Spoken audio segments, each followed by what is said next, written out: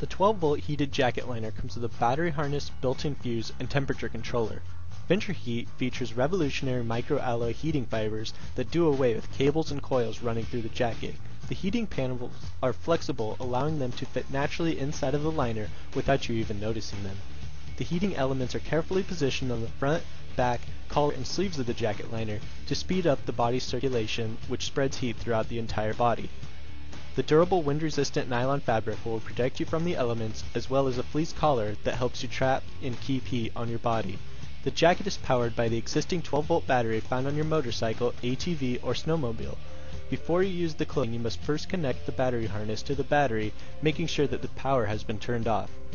Access the vehicle's 12-volt battery by following the instructions in the vehicle's owner's manual. Connect the battery harness to the terminals of the battery by removing the attachment screws, then connecting the red ring of the battery harness to the positive terminal and the black ring to the negative terminal. An SAE adapter can also be purchased to use with the existing battery tender. Tuck the remaining wires under the seat and run the plug out the left side making sure that at least a couple of inches from the plug extend from the body of the vehicle. The location and manner in which this is done will vary depending on the configuration of the vehicle. You can also attach the cable to the frame using cable ties or electrical tape to secure the wire. Once you have completed installing the battery harness, locate the input plug found inside of the jacket on the left side in the lower pocket. Remove the plug from the jacket and connect the coax cable to the battery harness attached to the vehicle.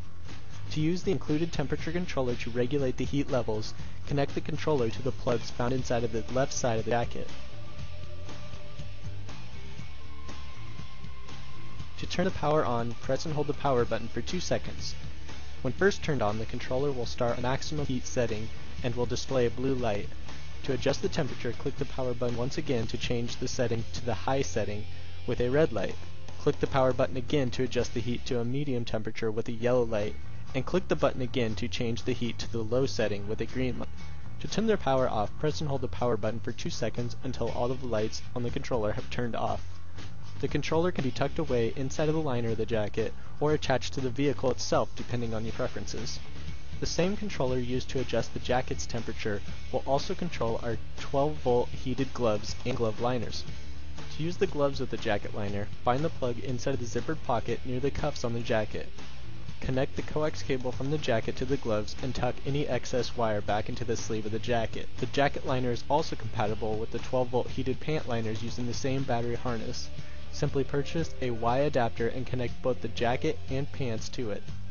The same is true if both you and a passenger are wearing heated gear. See vehicle's owner manual for power output information. The total setup takes under 10 minutes to complete, but will keep you warm all year round.